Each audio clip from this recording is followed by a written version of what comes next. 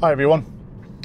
You've probably heard me say on many occasions that arriving at the same point and at the same time isn't good.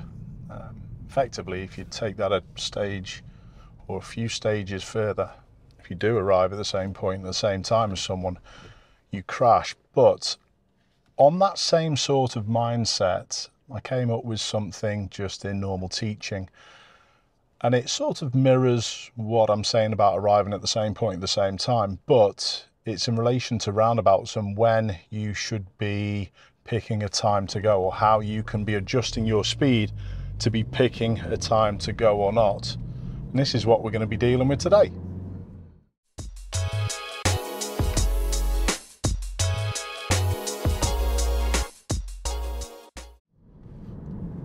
Not many times people are going to be begging for traffic, but this is really what I'm, uh, I'm after with these scenarios. Um, we've got round about here, we're up in Kirby, and we're going to see whether there's any vehicles coming round. And even now, I'm adjusting my speed for the silver one because the silver one could come on. Is that black one going to come round? Now, notice I'm holding back now because I'm trying to fit into the gap after. Now, that wasn't really decision point um, that one wasn't coming round, so I didn't know where it was going. But the same sort of things apply to what just happened there. I'm going to go ahead at this roundabout. It's the second exit. And if there's a vehicle coming round the inside, again, we don't want to arrive at that same point. Decision point with the Mercedes, yes, and it can flow into the space. So what I was able to do there, I wasn't certain because of the Mercedes lack of signal. And this is one thing I'm forever saying, don't rely on signals, rely on what people are doing. But there's bits and bobs that you can do with your approach that allow you time to go a little bit. So hopefully you notice what I was able to do there with the Mercedes. I was able to hold back until I knew the Mercedes was going in this road nearest me, the one that I'd just come out from, that then allowed me to flow on nicely. And that all happened because I was away from the give way and I slowed down a little bit more. So effectively, if you slow down more, you've got a better chance of flowing on. So I've made my way back round to this same roundabout where Mercedes was just then. And we're going to have another little go. I'm going to try and do a right turn. So we're looking round the opposite side for potentially people coming round this inside of the roundabout. So the Tesla, I've held back until I knew it was going and then I was able to make a move. No problems.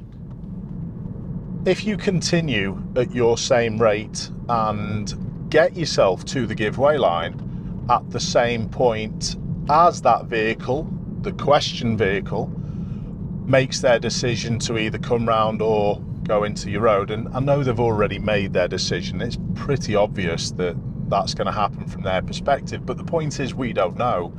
But if you arrive at that give way line, at that point where they make the decision and go one way or the other, if they come round in front of you, you've got to stop.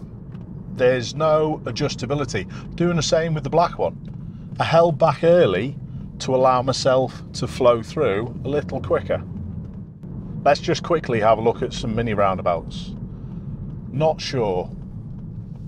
Van, not sure. So notice what I'm doing, I'm holding back. Signalled early, am I able to flow? Yes, I am. So signals do honestly make a fair bit of difference, but you can't rely on them because, as we've seen, people don't signal well enough, do they? So that last roundabout had a brilliant view to the right hand side and because of that, I'll let you go, buddy. You crossing? You're all right.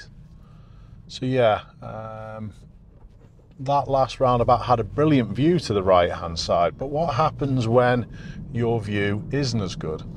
Well, it's quite simple. It can be the same process, but your speed just has to slow down a hell of a lot more.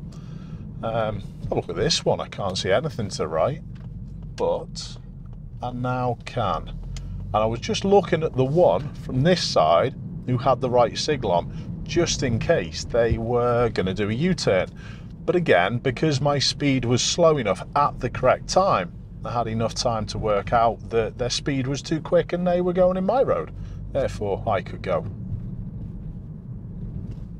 Have a look at the view as we approach this next roundabout. It's even worse to the right hand side. So again, the same process happens, but I'm at, I'm at even a lower speed. Could I stop? Yes. Done.